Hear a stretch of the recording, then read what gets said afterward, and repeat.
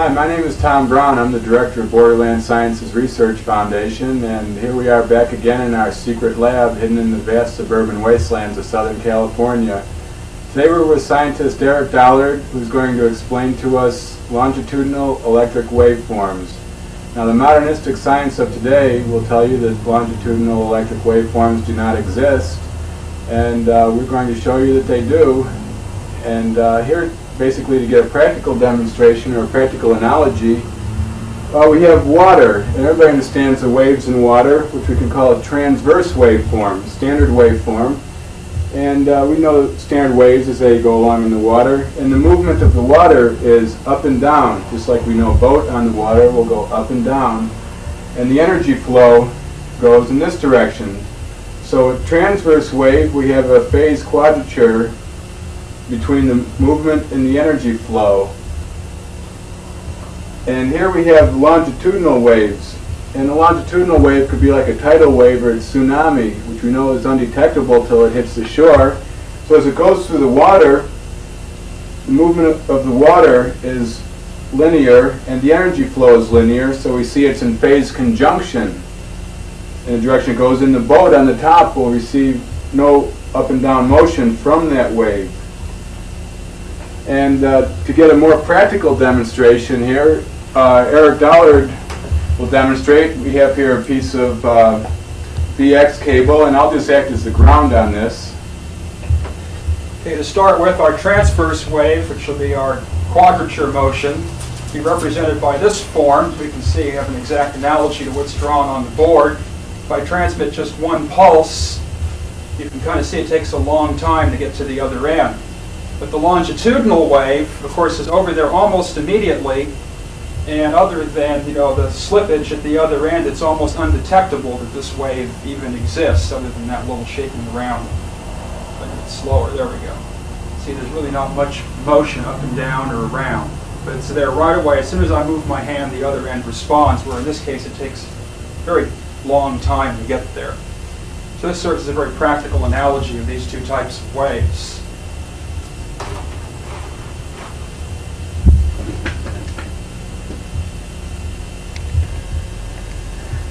As to carry our analogy further here, if we drop a stone in the water, we'll produce both types of waveforms in the water. Now we know the transverse waves form concentric rings which propagate out.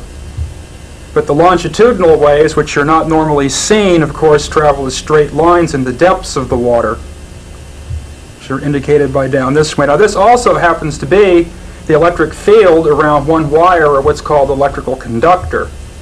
Now if we look over in the other page here, we see when we start having a system of conductors, then the field changes, and we can have either the transverse motion of electrical energy, which moves into the paper, or in other words, in the directions of the wires, which these are being the cross sections of the wires, or in a transformer, energy is conveyed longitudinally from primary to secondary conductors. So we have again our two types of fields here, representing longitudinal and the transverse, which of course is hard to represent because it goes into the paper. And again, these things are at right angles to each other. The longitudinal is going that way, and the transverse is going this way.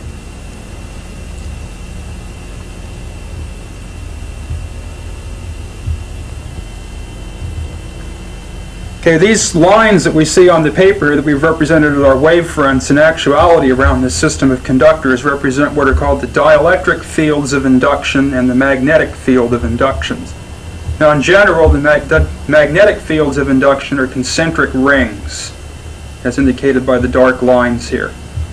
Dielectric field of induction are usually radial lines, as indicated by the dotted lines.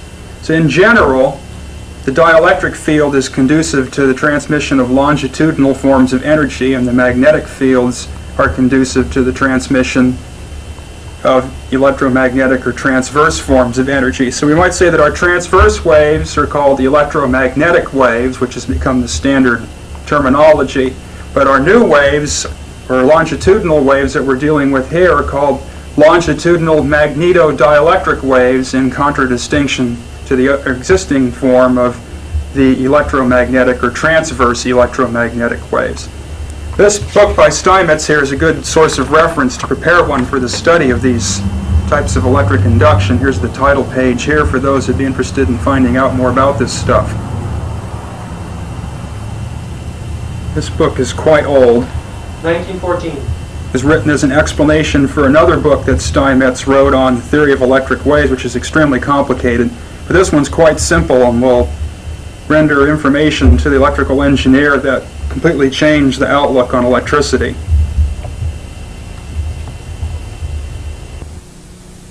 In our study of electric waves, we're going to start with the well understood transverse electromagnetic wave, and we're going to do some measurements here to determine the characteristics of such waves. Start with, we'll have a radio frequency generator and a step down transformer to drive a long section of coaxial cable, and then a high impedance bridging voltmeter to measure the rise of electric potential due to resonance at the distant end of the cable. Now we'll go over to our test setup here on the bench. And we have our radio frequency generator and our transformer, which is a little toroidal core inductance. And then we have a roll of just regular coaxial cable and the high impedance voltmeter. Now what's going to happen here is a series of impulses, alternating electric impulses, will be produced by the radio frequency oscillator and launched down the cable with a finite propagation velocity. These impulses will travel around in the cable, reach the open circuit at the end of the cable, turn upside down, and reflect back, and again be delayed and return to the oscillator. When the impulses of the oscillator frequency are such that they match the time of propagation delay produced by the propagation of electricity down the cable. When this inverted impulse comes back from reflection, the oscillator has gone through one half of a cycle and it also is producing an inverted impulse. So these two inverted impulses add and a double impulse goes back down the cable, turns right side up when it gets reflected, comes back to the oscillator. The oscillator has gone through another 180 degrees of shift and is producing a right side up impulse to match the reflected inverted or now right side impulse. And this process keeps on going on and on until the voltage rises to a level where the losses of the system prevent any further increase. So what we're going to do is we're going to sweep the frequency here and find the resonance point of this cable to determine the propagating velocity. Now, as you can see on the voltmeter here, we have a definite peak. So I'm swinging an oscillator. If we go to roughly our half voltage points, we find we have a bandwidth of about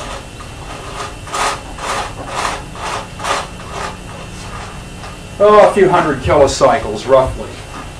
And it peaks out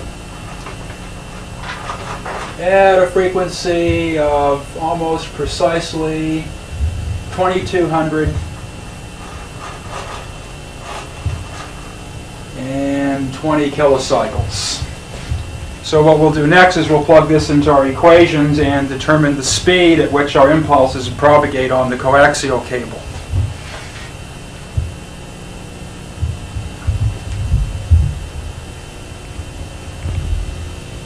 In reviewing our test data for a transverse electromagnetic wave of electric induction, for a TEM coaxial cable, RG62, which is the cable type we use, transmission impedance 93 ohms, total length of cable 2,750 centimeters. Full wavelength of this piece of cable then would be 11,000 centimeters since it's a quarter wave resonance and you have to multiply the length by a factor of 4. Now based on the velocity of light, frequency of quarter wave resonance for a propagating velocity equaling that of light, the frequency should come out to 2727 kilocycles per second.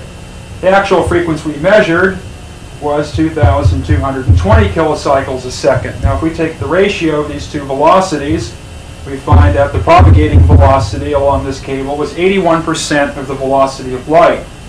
Hence, this transverse electromagnetic wave is a retarded wave in that it propagates at a velocity less than that of light. Now, the reason for this retarded propagation velocity is due to the fact that the velocity of light is slowed down by the translucent medium that fills the cable to insulate it and the resistive losses and conductive losses of the cable in general also tend to slow down the wave a little bit. Now, what we're going to do next is go to the longitudinal wave and show our test setup, do our measurements, and perform our calculations on this wave. Okay, now we have our longitudinal wave test set up. Again, we have the same generator. This time our transformer couples the generator energy to the first turn of the coil, which is wound of very fine, fa- fairly fine wire. And then we have a capacitive probe pickup to measure the voltage rise at the end of this coil. And at the neutral end of the coil, we have a large capacitance plate to produce our impedance dissimilarity, so we end up with a quarter wavelength rather than a half wavelength resonance on this coil. Now we'll look at our test setup again here. And we have, of course, the same generator as before. And then focusing in on the coil here, we see we have a primary turn, which loosely couples to the secondary or the actual coil itself through the first turn here, and then the rest of the coil pretty much engages in a free oscillation. And then our capacitive pickup is just a clip lead clipped onto the so-called insulating part of the coil. So we have a very light coupling between the end turns here and the probe wire, which of course goes to our same voltmeter. So what we'll do is we'll sweep around with the oscillator again and find out what kind of resonance characteristic we have here. Now we notice a difference right away. The resonance of this type of wave is much sharper.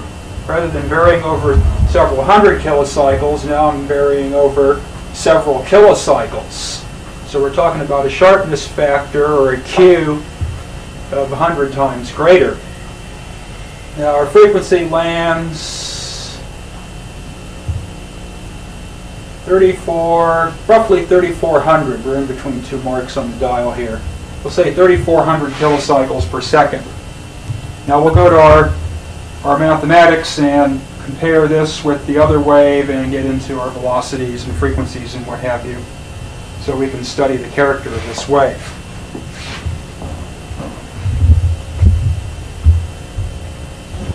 Okay, covering the test data here for a longitudinal magnetodielectric wave. Our LMD wave structure was a Tesla extra coil. Transmission impedance of this was 4200 ohms. Wire length, again, is 2750 centimeters to make it analogous to a roll of coaxial cable. And again, the full wavelength would be 11 11,000 centimeters. 4 times 2750. So the frequency of quarter wave resonance for a propagating velocity of this length equaling to that of light would be 2727 kilocycles, such as before. Our actual frequency measured, of course, was 3400 kilocycles per second. So taking our ratio of frequencies or velocities gives us a velocity of 126% of the velocity of light. Hence, this wave is an accelerated wave. So we've broken the speed limit of the velocity of light. Or you might say we might get a ticket from the relativity police in this case. At any rate, going back to our structure over here, we can see how this occurred is we're really not having transverse flow between the turns anymore, but the energy is now spiraling due to the complex quantities of induction along the wires in this direction. So we have a spiraling wave around the coil, and this gives us an effective velocity exceeding that of the velocity of light. And this shows a very fundamental error in many texts which give the method for calculating the resonant frequency of a free oscillating coil or a Tesla coil as being related to the velocity of light. So clearly we have to develop a new system of equations to describe this. Now what we're going to do next is build up a system of analog computers where we can study these waves a little better. With the coaxial cable, obviously we'd have to cut the cable open and stick probes inside to make measurements. In this case, focusing in on the voltmeter, when we use the longitudinal resonance structure, the thing is very sensitive, as you can see on the voltmeter, to any type of changes around it. So if you try to get in there to measure it, you can see by me bringing my hand near the coil that a definite shift out of resonance occurs in the meter. And as an example, I'll keep my hand very close to the coil and find the new resonance peak, and it's gone down about 30 kilocycles just by bringing my hand within three inches of the coil. And of course, I bring it away, I have to rehunt for the new resonant frequency. So we'll show you how these waves exist in their analog form, and Tom Brown will give you a brief introduction on the relation between the analog computer and the digital computer, and why we have to use analog computers for the study of these waves. And this will constitute part two of this videotape.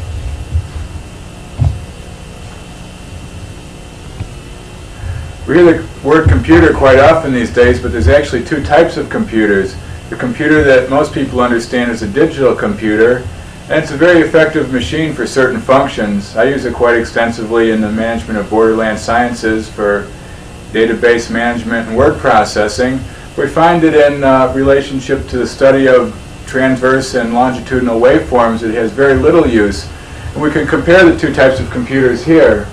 In digital computer, which of course is silicon chips, we have numerical functioning only. In an analog computer, which is a network built up of coils, capacitors, and various physical things, we have physical functioning as well as numerical. In the digital computer, we have no measurement of function as possible.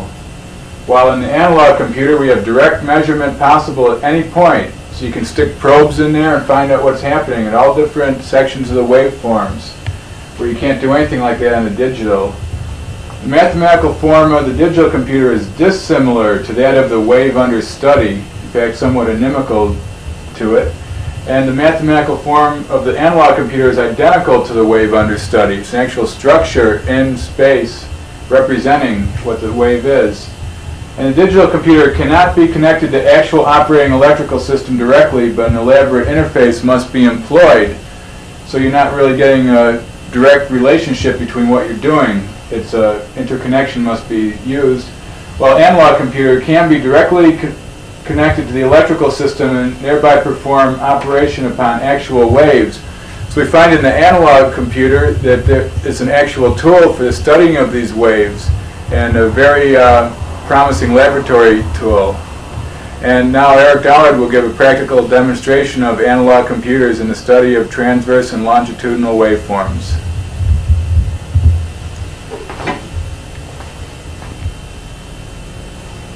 Okay, in our analog study of electric waves, we'll start with an element of what we've been working with, which should be one pair of wires. And we'll call this the element of transmission, a differential element, as indicated by this symbol here, of an elemental length, which either be one centimeter, one inch, one foot, or one light year, depending upon what you want to take as unit length. So this is a little slice of the transmission section. This can be a little cut out of two wires of the coil, or it could be the center wire, this being the shield around the coax. The direction of longitudinal flow in this element will be in this direction, and the direction of transverse flow of this element will be in this direction, and we can see these two flows occur at right angles to each other. And in the case of the Tesla extra coil, they'll perform a complex addition, and we'll end up with a spiraling wave going up around the coil. Okay, now our analog of the magnetic field of the wires can be a pair of inductance coils, filter chokes or radio frequency chokes or transformer coils or anything that has the ability to store and return magnetic energy. The analog of the dielectric field will be a pair of capacitors.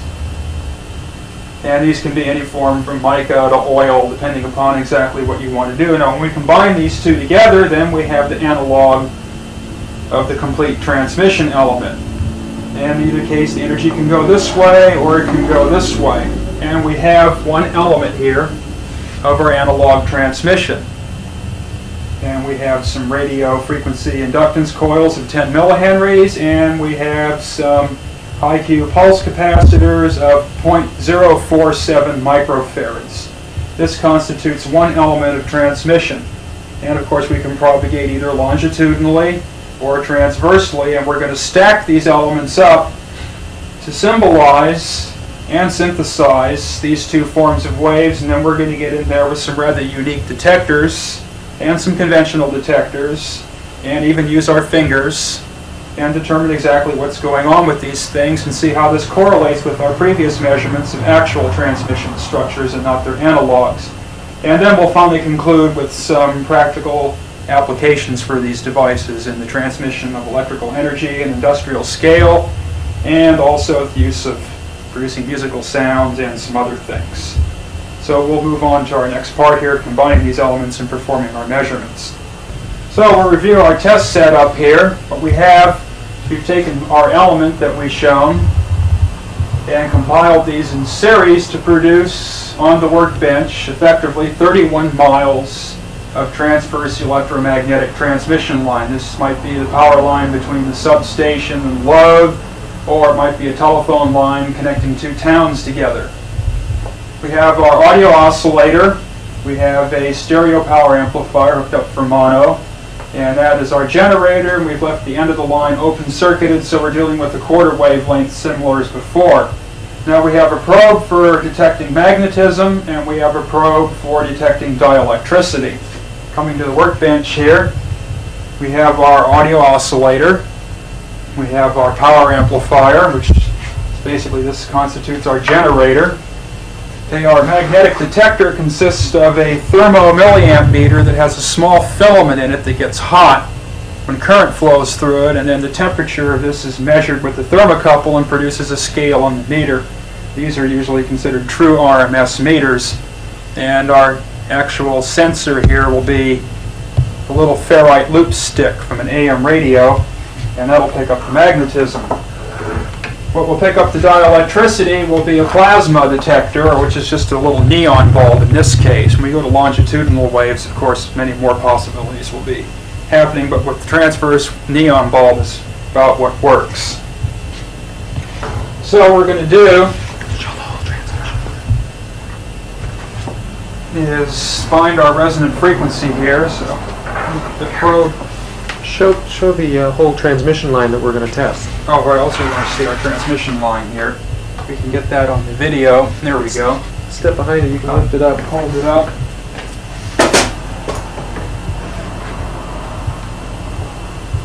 So this is our analog of transverse electromagnetic propagation. You can see the capacitors are in shunt and the coils are in series as shown on the board. And it produces a definite geometric pattern. And of course we've got points where we can make measurement here. Now what we're going to do is determine the resonance again by measuring the dielectric potential at the end. This time we're going to use the neon bulb rather than the voltmeter. Turn up our power here. And you may be able to hear the thing coming to life.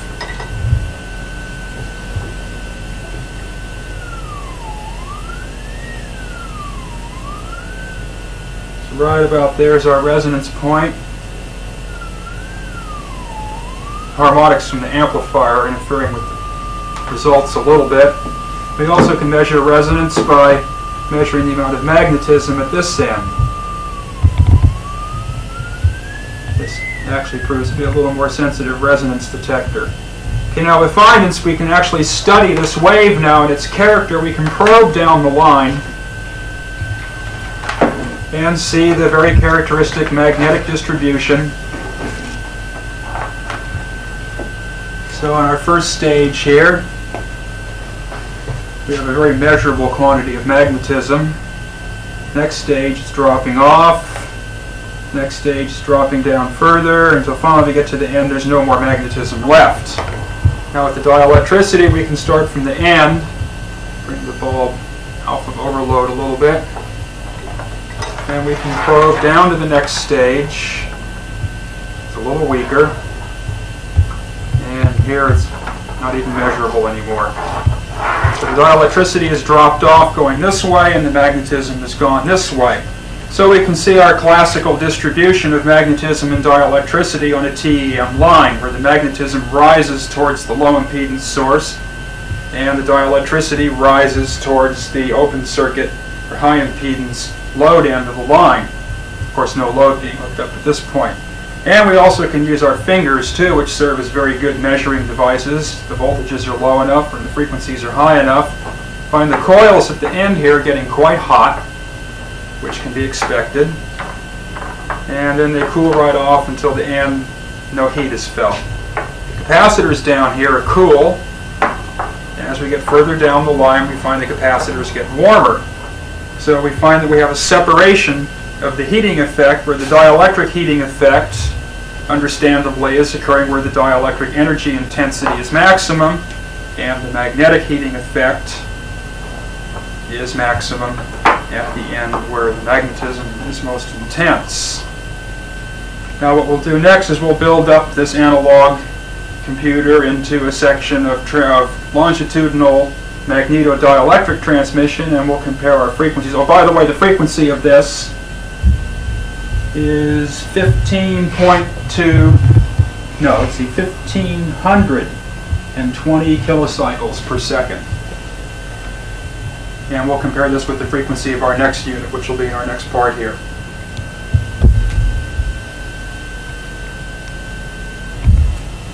Okay, our test setup again. We've taken our element and rotated it 90 degrees to give us longitudinal rather than transverse flow, but of course still using the same components in the element. We have our same amplifier. Oscillator arrangement, the amplifier is producing about the same amount of power as before, but now our distributed line looks like this. And it's a quarter wavelength long, meaning that we have our low impedance, high impedance. Now the length that this symbolizes is indefinite by conventional terms because this represents wave propagation in counter space, something that's little understanding of exists. The propagation in counter space would be measured in per mile or per centimeter, so we have to figure our length on that, and so little knowledge exists on that right now that we can't give a definite figure. But we can take precision measurements and determine exactly what's going on here. So right now our oscillator is at 3600 kilocycles. That was our resonance point. I'll show put the neon bulb in the end here. Hold our line up so you can see how it's constructed. You can be more careful now because it's much more intense, transverse than longitudinal mode. Okay, we'll do our sweep here, and you can see the resonance is extremely sharp on this. I just barely move the dial and it goes out, and the activity is so high that now it'll even light a fluorescent lamp with the same amount of power. So as you can see, I only need one wire at this point, where before I had to connect up in conventional electric circuit fashion. And again, remind you, this is the same amount of power. So we can see the oscillations are much more rapid, much more intense. Now let's study this like we did before. Let's start by seeing what our magnetism looks like. So we'll start down on the bottom here. We don't get too much indication. And it goes up there fairly well. It's quite intense there. And here I don't even bring the thing, dare bring the thing up or I'll burn the meter out. So we see in contradistinction the before, the magnetism is rising towards the open circuit something that doesn't normally occur with conventional electric waves. Now we'll do the dielectric part. And of course you're probably seeing interference in the TV screen. Of course that's, if you've seen the other videos, is characteristic when we start to deal with longitudinal waves as they propagate quite well through space. Or in this case we might say counter space. And we can see the dielectricity drops right off. Now for comparison, I'll put the neon bulb right across the line. And you can see it's just brilliant. I don't dare keep it there. It'll be gone in a second. And we get quite a spark off the end of the thing too. So for the same amount of power, this thing is operating at a much more rapid rate, much higher efficiency, and we can do a lot more things with it. And we'll do our heat check again, see where the heat's coming from in here. Feel our input coils relatively cool. The input capacitors are quite hot. Go down the line here, capacitors are cooling off, but the coils are very, very warm here, this end. So now we have the situation where the heating effect is turned around from where it was before. Now the dielectric input capacitors get hot, and the magnetic output inductors, or more appropriately in this case, inductors, are getting warm. So we have quite a few differences here. Now what we'll do next is we'll do some quantitative comparing these differences, and then we'll do a few novel experiments and give some ideas for the experimenter to work with this on his or her own. In reviewing the results of our experiments, we find that the transverse electromagnetic, or TEM wave, produced these following observable effects. We notice that the capacitors, or dielectric inductors more properly, at the input were cool and at the output were hot. And the magnetic inductors at the input were hot and at the output were cool. The magnetism piles up at one end and the dielectricity piles up at the other end. We found the oscillations to be rather slow and rather weak. With the longitudinal magnetodielectric or LMD wave, we found that the magnetic inductors at the input were cool, but at the output were hot. And the dielectric inductors at the input were hot and the output were cool, which is very interesting because the dielectric conductivity was more intense at the output, but that part remained cool. The magnetism and dielectricity piled up at both at the same end. The oscillations were quite rapid, as you can see by a very significant factor, and the oscillations were strong enough to produce small electric shocks when handling the bulbs, and the bulbs lit up to brilliance way beyond their maximum power handling capability. And both of these tests were done with relatively the same amount of power, about within the range of 15 to 20 percent. We don't have a high-frequency watt meter to measure this right now. So in comparison, the transverse electromagnetic energy wave, the magnetic and dielectric energies are in space opposition, in that they are at opposite ends of the apparatus. The longitudinal magnetodielectric wave, the magnetic and dielectric energies are in space conjunction, which goes totally against the law of electromagnetism, which says these two energies always must be in quadrature in, in time and in space, but in here we find that they occur together. And look, comparing again the TEM, magnetism was hot, the dielectricity was hot. In the LMD, the magnetism was hot, and the dielectricity was cool. We can conclude from this and other experiments we've done in the lab previously that TEM, or transverse electromagnetism, which represents basically the form of electricity that we use today in the way that science chooses to look at electricity, is an unnatural form of electricity. Whereas in the longitudinal magnetodielectric, the energy is a natural form, the way electricity naturally wants to exist. And if we go through the old text, we find that dielectricity used to be called electricity and is often still erroneously known as the electric field, which somewhat stands to reason because it's the origins of electricity. Now what we're going to do is we're going to build up an interesting little detector here and show some things that can be done with this network. And one thing I'd like to point out for those that like to build practical things is these networks, the longitudinal magnetodielectric networks can produce, as was seen, very high voltages and serve as good alternating current voltage multipliers. And without building large Tesla coils or anything with considerable amount of windings on them, you can produce extreme voltages and all the effects that you get with Tesla coils, such as one-wire illumination and bizarre transmissions and interference into the TV camera and all these things that you normally only see with the Tesla coils. So we find that this analog computer, of the LMD wave, is the analog of the most important wave in the Tesla coil, and we can get a lot of the effects that we would normally get with the Tesla coil with this a simple coil capacitor arrangement. We find with the TEM, as the dielectric induction builds in intensity, it's always fully across each capacitor which of course causes the capacitors to fail at the output end and you can never get high voltages. Same thing with the two-wire transmission line. If you try to get it to resonate, obviously the wires are going to flash over at the output. Where with the LMD wave, the capacitors are all staggered in series and they're not going to break down due to overvoltage because each one is sharing the load. And that is the important discovery of Nikola Tesla for the production of his high voltages was the fact that the voltage appeared as a small quantity across each turn and didn't cause flashover between the turns, so produced infinitely higher voltages than was possible with parallel wire transmission lines. The next thing we're going to show is a combination of, you might say, an orgone detector and a Farnsworth multipactor tube connected to this and show some interesting effects.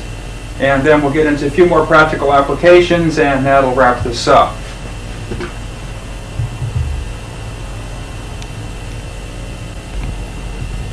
Okay, we have a few experiments we're going to do here. We have a 90 volt battery and a Simpson Model 260 voltmeter with a 50 microamp movement, and we've used the range meter as a ballast resistor.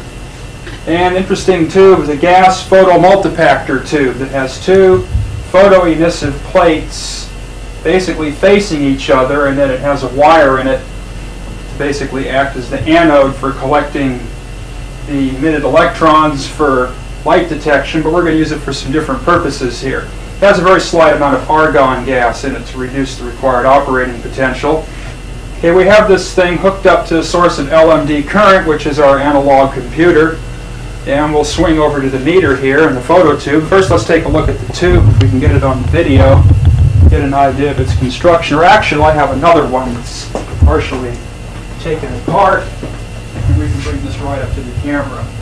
I've been told these are old balanced photo detector tubes for movie cameras. So you bring it up real close here, and we can see what's happening inside.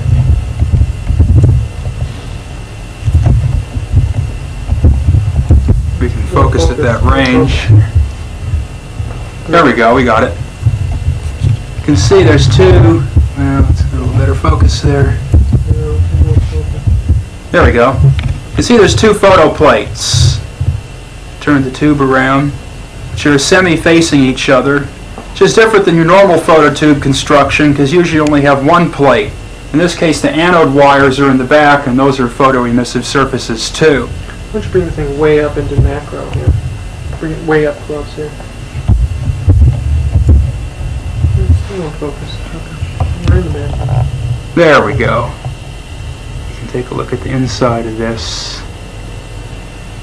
See, there's the two silver cesium plates. And then the anode wire is barely visible. It appears more as a shadow, but there's two anode wires basically right there that go up to collect off of these plates. So it's a completely balanced range, but We're using this as a Farnsworth multipactor tube, and the anode wires typically are not used except for remote source of excitation. So we'll go back over to the setup here. Now, we've been doing a lot of experiments to build a detector of bioenergetic fields, or what some people would call an orgone detector. We haven't with anything solidly conclusive yet, but nevertheless we are getting readings and responses. So apparatus is brought to a power level to keep this thing operating at the necessary threshold. I can pick this photo tube up, and of course when I shine it, the light on it, it tends to move around and respond. But when I put my hand on it, you see the meter jumps right up. So we're getting close to what we want here. We have to work more with thresholds and build our own tubes, but of course we're working all with junk parts. By the way, these parts are all found at ham fests and in surplus stores and garbage cans, and sometimes you can find the stuff laying in the middle of the street if you're lucky. Now what we're going to do is change our setup here a little bit. Connect this as a regular photo tube and remove our source of excitation. And if we can see, the Simpson shows that we got a slight response from the fluorescent lamp. You're, you're right in front of the meter, so I can't show both. There we go. We got a little bit of response from the room illumination, which is pretty bright for the videotaping purposes. Now I'm going to bring the intensity of our apparatus up here to a point where we get some reasonable output. And we can see that the phototube responds quite readily to the longitudinal dielectric induction existing at the end of this, primarily due to the presence of ionized gas. Get behind here so you can see the meter. See, it just jumps right up. Even though the illumination by the gas in there is barely visible, and of course I have a big 750 watt bulb hanging right up there on the ceiling, that produces hardly any output at all. Now we'll go back to the board and do a little brief description of what multipactor action is all about. This was something discovered by Philo Farnsworth around 1930. He developed a whole series of tubes based on this principle that eventually led to practical nuclear fusion. Totally electronic, required no large magnets or lasers, and the thing basically occupied a space of roughly 10 cubic feet and produced 100 kilowatts of direct current, 1 ampere, 100 kV, for about five minutes before the little electrode screens inside the tube would melt. Going back to the original photo multipactor, what happens is, is something will dislodge an electron from the plate, which will fly off and then be attracted to the other plate. The little high-frequency oscillations of the wiring will produce jittering. And this electron flies off, hits the other plate, will knock more electrons off, which will fly around and go back to the other plate and knock more electrons off until eventually you can build very powerful UHF oscillations with these things. The reason Farnsworth developed this tube was at the time the tetrode vacuum tube had not been developed yet. And being Farnsworth was in the process of inventing television at that time, he needed very high gain, high impulse response, or you might say wide band amplifiers, and he just couldn't get that out of the old triodes. So he decided to abandon the hot cathode grid tube completely and came up with this photo multipactor tube, which now in its final form that's available as today is known as the photomultiplier, which many people are familiar with and forms the heart of every television camera. Television camera tube, of course, being invented by Father Farnsworth, as many know. Our dielectric induction detector was basically this down here, using this multipactive process to provide roughly a gain of about 60 to 70 decibels, so that the slight amount of ionization produced by the induction produces a significant response on the meter. Now, of course, we hook this to a tank circuit tuned to the appropriate transit time frequency. This effect will be magnified even more and gains of 120 decibels are possible with a single tube. Now we're going to get into some maybe practical connections of this circuit and a few other things, and that'll be pretty much it for this demonstration.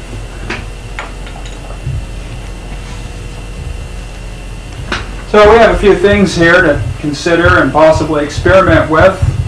Now in industrial electricity, we have a situation where if we have a large system of motors, which require, of course, electrical energy and magnetizing energy, that the magnetizing energy and electrical energy have to be transmitted through the TEM line to the motor, resulting in two waves which tend to overheat the lines and drop the voltage. And normally what's done is a dielectric inductor or capacitor is hooked across the motor to provide the magnetizing energy because capacitors will generate magnetizing energy. And that relieves the transmission line of the duty. And further the magnetic induction which is the prominent element in most transmission lines being that the voltage doesn't operate much above your low voltage points usually less than 66 kV which most feeder lines are you don't have enough dielectric induction for them to be anything more than an inductance coil so it's just like a big transformer winding the capacitor will resonate with this magnetic energy in the wire and cause the voltage of the system to raise as you go to the load, which of course is quite different than a normal DC circuit. So it's not uncommon in an alternating current power system that the voltage will start off nominal at the generator, which is usually 13.2 kV, and go up to 13.8 or 14, and if you remove the motor, it would go up to infinity.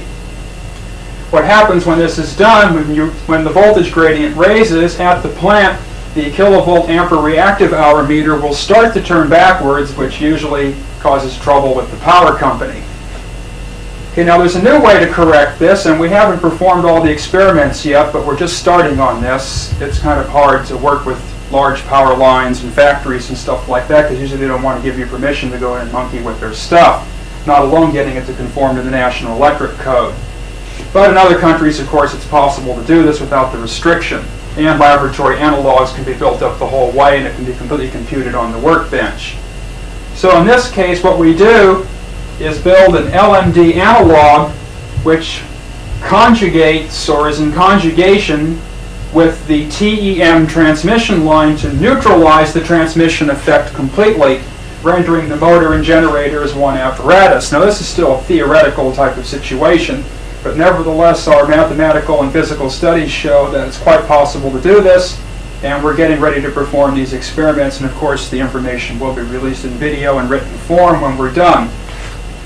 Another thing is an LMD network is an analog of an organ pipe, and it will produce a complex harmonic spectrum rather than a single sine wave frequency that you conventionally get out of the LC oscillating circuit or again the single repetition rate frequency that you usually get out of your RC networks, which contain harmonics that usually are not what you find in natural musical instruments.